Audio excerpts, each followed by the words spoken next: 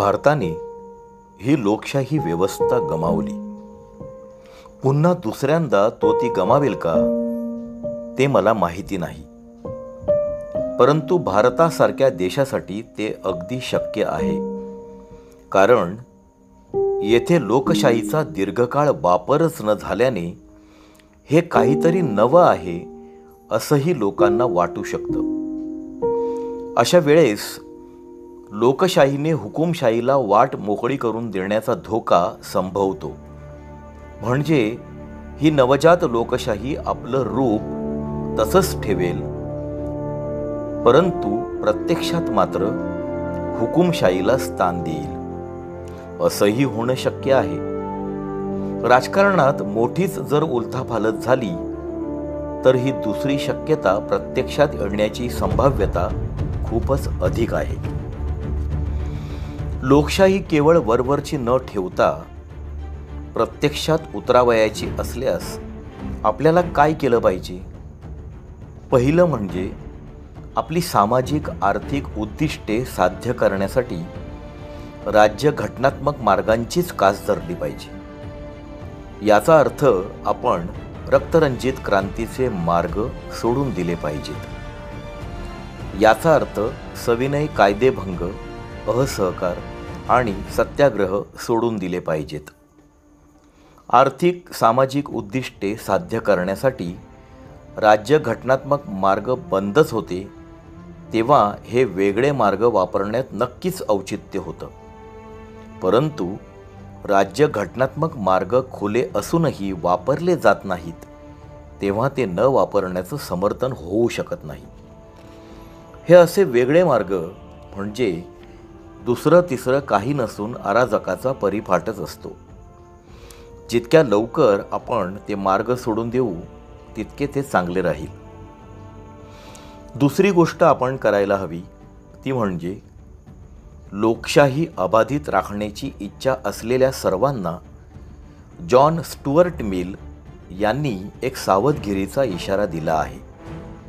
तो इशारा आचरणात आणावा. जॉन स्टुअर्ट मिल म्हणतात कोणी कितीही महान व्यक्ती असली तरी तिच्या चरणांशी आपलं स्वातंत्र्य कधीही वाहू नका. त्याला एवढे अधिकार कधीही देऊ नका ज्या योगे लोकशाहीच्या सर्व आधारभूत संस्थांचा विध्वंस करणे त्यास शक्य होईल. देशाची जीवनभर सेवा करणाऱ्या महान व्यक्तींप्रती कृतज्ञता बुद्धी असण्यात चुकीचं काहीच नाही. परंतु कृतज्ञतेलाही मर्यादा असतात. आयरिश देशभक्त डॅनियल ओकोनेल यांनी म्हटलंच आहे की कुठलाही पुरुष आत्मसन्मानाची आहुती देऊन कृतज्ञ राहू शकत नाही.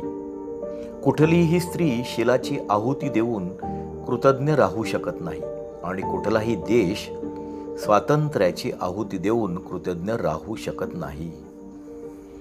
भारतासारख्या देशात तर अन्य कुठल्याही देशापेक्षा हा इशारा आवश्यक आहे.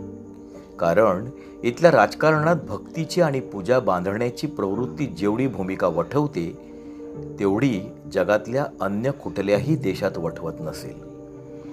धार्मिक क्षेत्रातील भक्तिमार्ग हा आत्म्यास मोक्षाप्रती घेऊन जात असेल परंतु राजकारणातील भक्तिमार्ग हा अधोगतीकडे आणि सरते शेवटी हुकुमशाहीकडे घेऊन जाणारा असतो. तिसरी गोष्ट आपण केलीच पाहिजे. ती म्हणजे केवळ राजकीय लोकशाहीवर समाधान मानता कामा नये. या राजकीय लोकशाहीचं रूपांतर आपण सामाजिक लोकशाहीत सुद्धा केलं पाहिजे. राजकीय लोकशाहीचा पाया जर सामाजिक लोकशाहीवर आधारलेला नसेल तर नुसतीच राजकीय लोकशाही टिकू शकत नाही. सामाजिक लोकशाहीचा अर्थ काय? याचा अर्थ स्वातंत्र्य समता आणि बंधुता या तीन जीवनमूल्यांची जाण ठेवणारा जीवनमार्ग निवडणे.